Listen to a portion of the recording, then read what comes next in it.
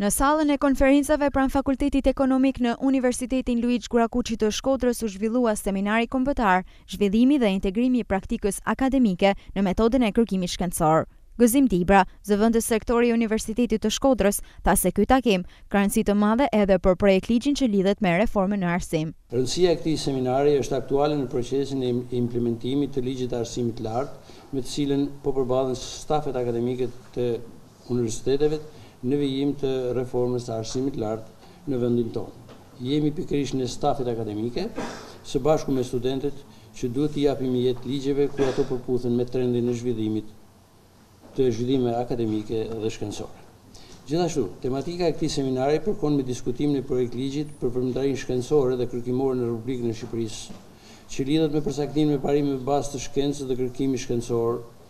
strukturën institucionale të veprimtarisë shkencore kërkimore, ndarjen në profilet e tyre, çështjet e organizimit institucional dhe të personelit kërkimor shkencor, financimin e veprimtarisë kërkimore shkencore, vlerësimin e kësaj veprimtarie, Melita Kovaçeviç, eksperte e Bashkimit Europian dhe përfaqësuese e Universitetit të Zagrebit, foli për rëndësinë e reformës në arsim.